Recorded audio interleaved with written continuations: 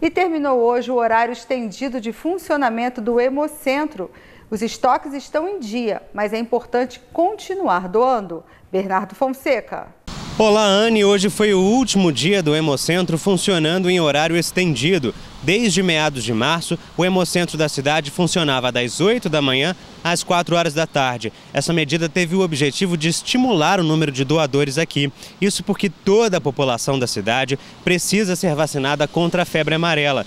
E quem é vacinado não pode doar sangue por pelo menos 30 dias. Então havia essa preocupação com relação ao estoque. A boa notícia é que, num primeiro momento, os estoques aqui do Hemocentro estão em boas condições, estão em um estado satisfatório para atender aí os municípios dessa região pelos próximos dias.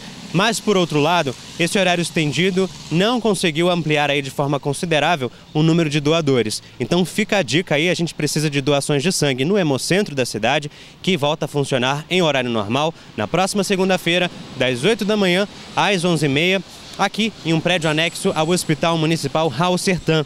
Para doar, vale lembrar, não é preciso estar em jejum, só não ter ingerido aí alimentos gordurosos ou derivados do leite, ter entre 16 e 69 anos e pesar mais de 50 quilos. Bernardo Fonseca, para o Zoom TV Jornal.